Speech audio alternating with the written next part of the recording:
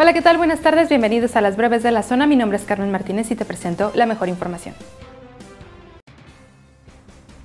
El presidente de la Cámara de la Industria del Calzado del Estado de Guanajuato, mejor conocida como CISEG, Luis Gerardo González García, informó que el 60.4% de las empresas afiliadas recortaron su personal y disminuyó hasta en un 64.20% su producción, derivado de la parálisis económica motivada por la pandemia de coronavirus.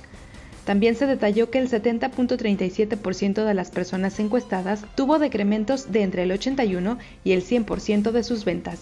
De entrada, los líderes empresariales indicaron que durante el sondeo realizado a 81 empresas en el marco de la contingencia sanitaria, se conoció que 10 de estas ya cerraron provocando la pérdida de 2.000 empleos directos, lo que se vuelve ilustrativo de esta situación.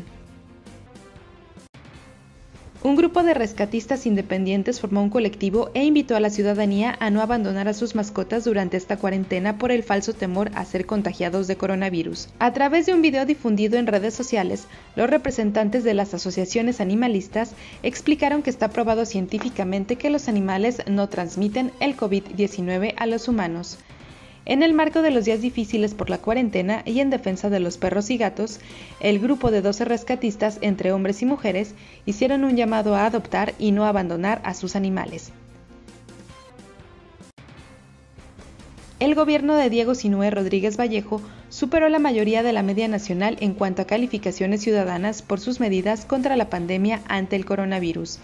Esto de acuerdo a la segunda encuesta nacional realizada por Arias Consultores, en el que se evalúan a los gobernadores y jefa de gobierno en la manera en la que han atendido la crisis sanitaria. El mandatario estatal de Guanajuato salió bien librado, ya que en el total de las cuestiones planteadas y tras 13.368 encuestas realizadas, obtuvo una percepción aprobatoria con un 95% del intervalo de confianza, aplicadas del 12 al 15 de abril de 2020.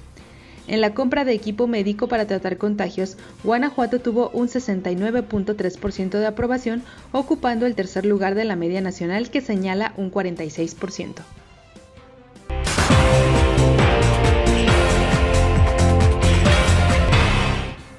Quédate en casa y quédate acompañado con nuestro contenido en zonafranca.mx y en nuestras redes sociales. Más tarde no te pierdas el siguiente bloque informativo.